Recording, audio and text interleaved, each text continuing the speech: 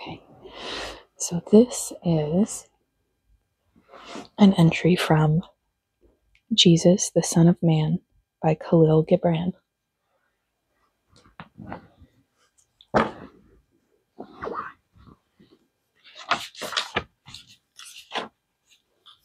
Kahlil Gibran, Jesus, the Son of Man, his words and his deeds, as told and recorded by those who knew him.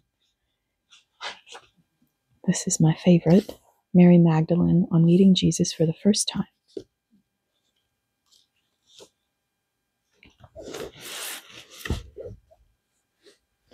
Mary Magdalene. It was in the month of June when I saw him for the first time. He was walking in the wheat field when I passed by with my handmaidens, and he was alone. The rhythm of his step was different from other men's, and the movement of his body was like naught I had seen before. Men did not pace the earth in that manner, and even now I do not know whether he walked fast or slow. My handmaidens pointed their fingers at him and spoke in shy whispers to one another, and I stayed my steps for a moment and raised my hand to hail him. But he did not turn his face, and he did not look at me, and I hated him.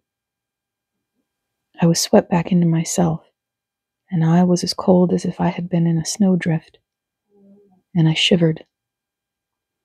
That night I beheld him in my dreaming, and they told me afterward that I screamed in my sleep and was restless upon my bed. It was in the month of August that I saw him again through my window. He was sitting in the shadow of the cypress tree across my garden, and he was as still as if he had been carved out of stone, like the statues in Antioch and other cities of the North Country.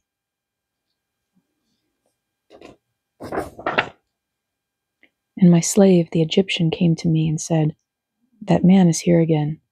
He is sitting there across your garden. And I gazed at him, and my soul quivered within me, for he was beautiful.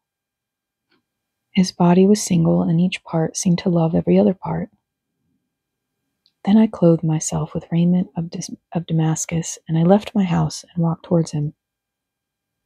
Was it my aloneness, or was it his fragrance that drew me to him? Was it a hunger in my eyes that desired comeliness, or was it his beauty that sought the light of my eyes? Even now I do not know. I walked to him with my scented garments and my golden sandals, the sandals the Roman captain had given me, even these sandals. When I reached him, I said, Good morrow to you. And he said, Good morrow to you, Miriam. And he looked at me, and his night eyes saw me as no man had seen me. And suddenly I was as if naked, and I was shy.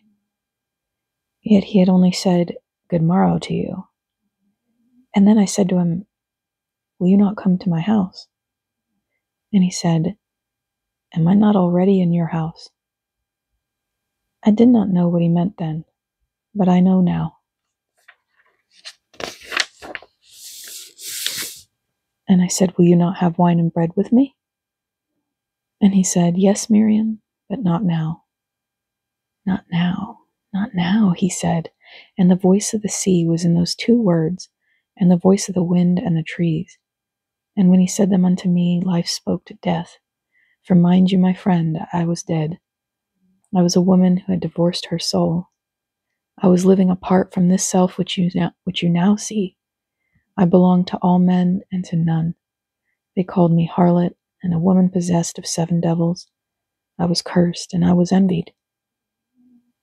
But when his dawn eyes looked into my eyes, all the stars of my night faded away, and I became Miriam, only Miriam, a woman lost to the earth she had known and finding herself in new places.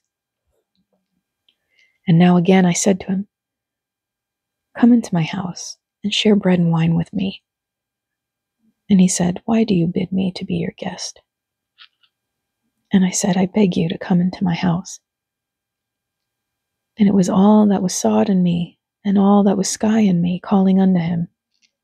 Then he looked at me, and the noontide of his eyes was upon me, and he said, you have many lovers, and yet I alone love you. Other men love themselves in your nearness. I love you in yourself. Other men see a beauty in you that shall fade away sooner than their own years. But I see in you a beauty that shall not fade away. And in the autumn of your days, that beauty shall not be afraid to gaze at itself in the mirror, and it shall not be offended. I alone love the unseen in you. Then he said in a low voice, Go away now. If this cypress tree is yours, and you would not have me sit in its shadow, I will walk my way.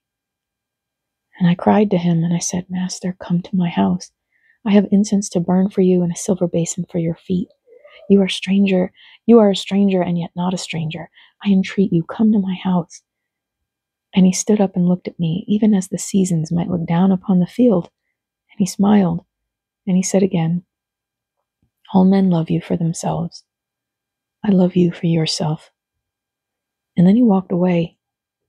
But no other man ever walked the way that he walked. Was it a breath born of my garden that moved to the east? Was it a storm that would shake all things to their foundations? I knew not, but on that day the sunset of his eyes slew the dragon in me, and I became a woman. I became Miriam, Miriam of Majel. Majel? Michelle? I kind of botched the ending there.